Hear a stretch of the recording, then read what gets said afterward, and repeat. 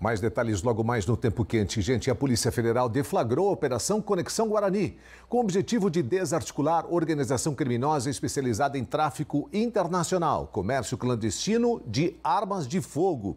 Olha, mandados foram cumpridos em vários estados do Brasil, inclusive na fronteira aqui no Paraná, em Foz do Iguaçu, de onde fala ao vivo Vinícius Machado. Bom dia, Vini.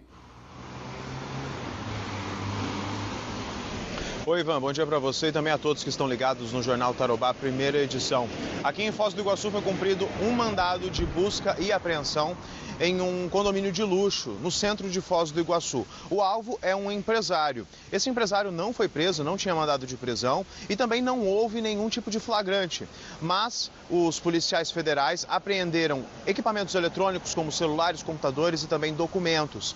Essa operação é tocada pela Polícia Federal da cidade do Rio de Janeiro e leva em consideração como um desdobramento de uma, uma, um flagrante que aconteceu no Aeroporto Internacional de Cargas Guarani, que fica em Cidade do Leste. Em 2020, na ocasião, um voo veio dos Estados Unidos com 180 fuzis. De acordo com as investigações, essas armas seriam usadas para abastecer o crime organizado no Rio de Janeiro, capital carioca.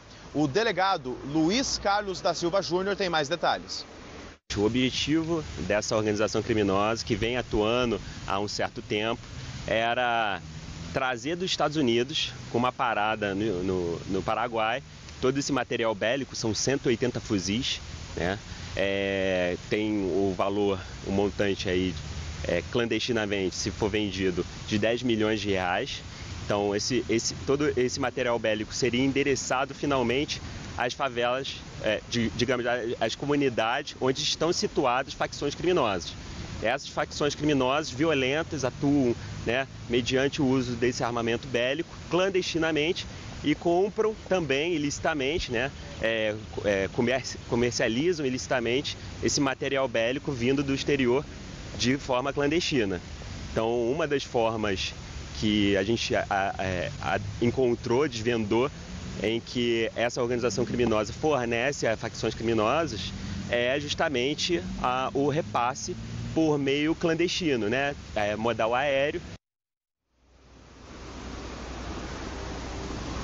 A colaboração com a Polícia Nacional Paraguaia foi fundamental para poder chegar até esse grupo criminoso que atua aqui na região sul do país.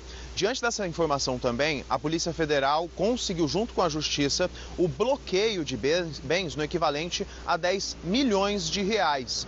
Caso venham a ser condenados, os envolvidos nessa associação criminosa podem responder por tráfico internacional de armas, evasão de divisas e também por associação criminosa e associação para o tráfico de armas. Ivan?